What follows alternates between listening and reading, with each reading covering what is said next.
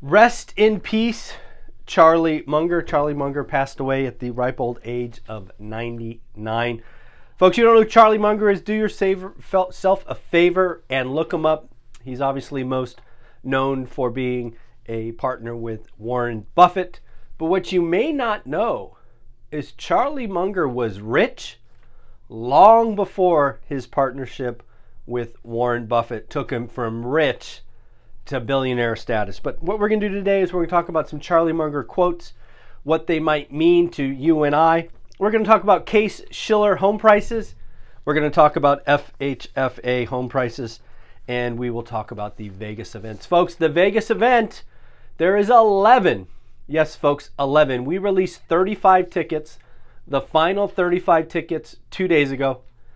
We have sold 24. We have 11 left.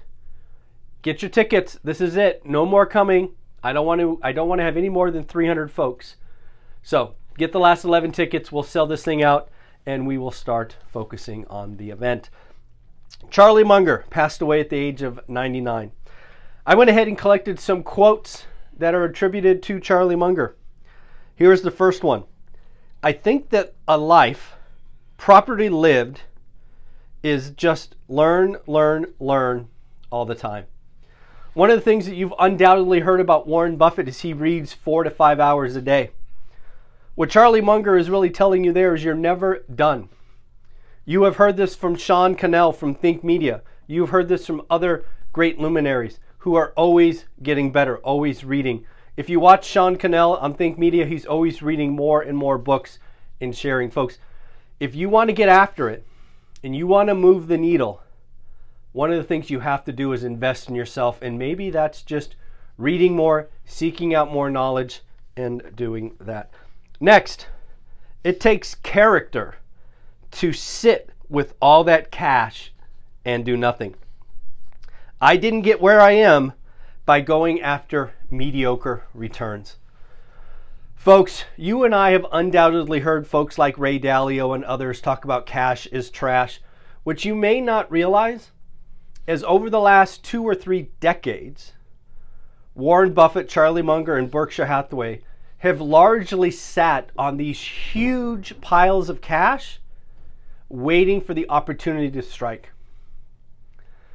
Cash is, an op- is like an option on future deals. Why did Berkshire Hathaway extract 10% yield uh, future options from Goldman Sachs and others in the Great Recession because they were the only one left with cash. Folks, what else do we talk about on this channel all the time? And I and I asked you, I implored you, at least through the end of January, only great deals. No good, only great deals. So again, I think Charlie Munger really highlighted. It's okay. It's the last part of that quote that I really liked. I am where I am. I am I didn't get where I am by going after mediocre returns. Folks, we don't do good deals. We do great deals. Next, one of the insane things uh, that is taught in modern university education is that vast diversification is absolutely mandatory. How many times have you heard a version of diversify, diversify, diversify? Other Munger quotes basically go diversification is for the uneducated. One of the things that I loved about Munger decades ago, and I've talked about it, is he said, hey, take your shot. Right? If you're gonna be if you're gonna put your egg in one basket, then watch the basket. When you get to be rich like him, sure, diversify. But in the beginning, Get good at your thing. And I think Charlie Munger proved that. And again, diversification is a way Wall Street gets rich. And maybe we do, maybe we don't. Here is last one that I found that is particularly relevant today in today's social media world. There are a lot of people growing really, really fast, preaching doom, fear, and crash. I want to give you a Charlie Munger quote the great lesson in life is get toxic people the hell out of your life. Folks, I know you watch the stuff. My my analytics show. Some of you have commented that you watch them to get a balanced view. Folks, there's a difference between a balanced view and putting poison in your head.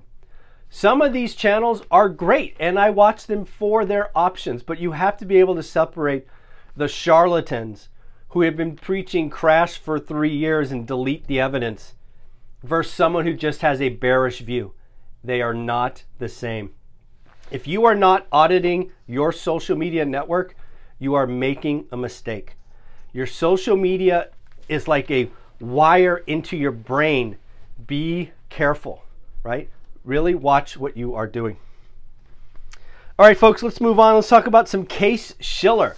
Case Shiller, again, as I say all the time, is old information. But nonetheless, it is what we have about price, price, price. Case Shiller, drum roll please. Up. Yes, I said up. I know the Crash Bros told you it was going to crash in 2023. I know. I, I, I, I'm sorry. But it was up 3.9% year on year. Just so you know, Detroit up 6.7, San Diego up 6.5, New York up 6.3%. Median rent, however, median rent is going down. It was down 0.9% month on month. Apartment vacancies currently sitting at 6.4%, slightly above historical averages. Other things about the Case Shiller index is they do a Case Shiller top 20 or the 20 index. 17 of the 20 are up year on year. All time highs in Atlanta, Boston, Charlotte, Chicago, Cleveland, Detroit, Miami, New York, and Tampa. The only three cities out of 20 that were down Las Vegas, Phoenix, and Portland. Something else that we get uh, on Case Shiller Day is FHFA. FHFA said home prices were up 0.6% month on month and up 5.5% year on year. Lastly, Lance Lambert from Resi Club. Go to, do yourself a favor, ResiClubAnalytics.com. Get the free newsletter. If you're not getting the free newsletter, I don't know what you're doing. But here's a great summary of what Mortgage Bankers Association is now saying about interest rates, home prices, and transactions. It's those three things working together. So let's just get into it. In 2024, Mortgage Bankers Association now thinks that prices will go up 4.1%. Earlier this year, the forecast was 1.1%. So, again, I'm guessing lower supply, lower rates, higher prices. 2025, up 3.3%, and in 2026, up 3.9%. Historically speaking, that's right around trend. Historically speaking, home prices go up about 1% over inflation.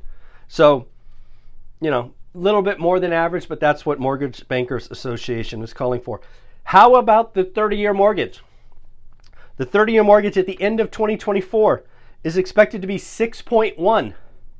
That's quite the drop. At the end of 2025, five and at the end of 2026, 5.4%. now for the big question. What about transactions? Remember, folks, we just did 3.79 million transactions. We called 3.8 on this channel as being the bottom. We were so close. What does mortgage bankers say about transactions? Well, 2024, they're expecting 5.1. This is existing home sales, existing home sales only. 2025, 5.7 million and 2026 5.8 million. Folks, I don't know what to tell you. I don't see it. I don't see how we get back to nearly 6 million by the end of 2026. But that's for another video. Folks, again, remember, there's 11 seats left for our event in Vegas. I will put a link below. Also, we are just about to start our journey home, so you have one more day one more day to get the How to Get Started One Rental at a Time course for $3.99 and get two free bonus videos like the buy box, like the six hour mastermind, whatever else your heart desires. So again, $3.99. Get it before the price goes up. Get the 100 bucks in free goodies. And join the Facebook group. You won't regret it. Thanks, folks. Take care. Bye.